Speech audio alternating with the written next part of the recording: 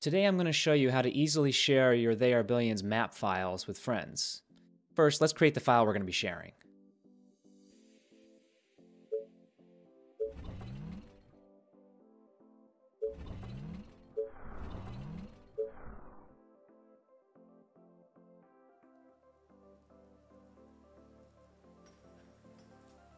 Okay, we're going to pause the game and exit back to the main menu.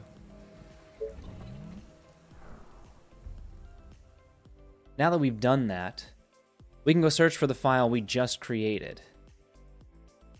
Opening up the search bar, type in they are billions. It should autocomplete.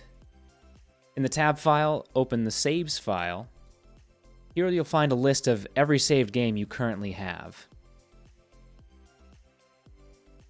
Finding the file we just created, in this case MapShare, you'll notice there are two files with the same name. One is a ZX check and one is a ZX save. We're going to need both of those. I'll be using Discord for easy uploading and downloading of those files. So I'm going to click and drag both of them over. Okay, the sharing part is done. I'm going to delete the original files from the save folder so that I can download and add the files from Discord back in. Before I do, notice that the new files have an underscore instead of a space between the words. We'll need to replace that in just a moment.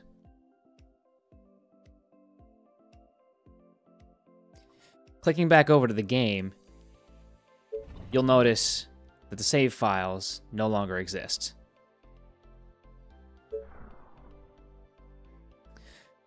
Let's download those files now.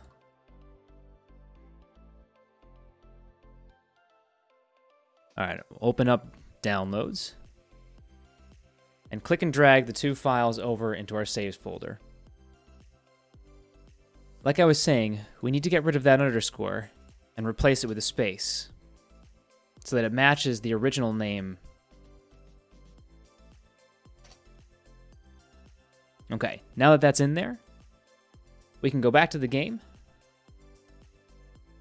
check continue, and there it is. Our file is back in there.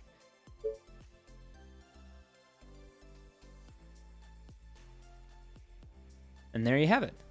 That's how you can share map files with your friends. Thanks for watching.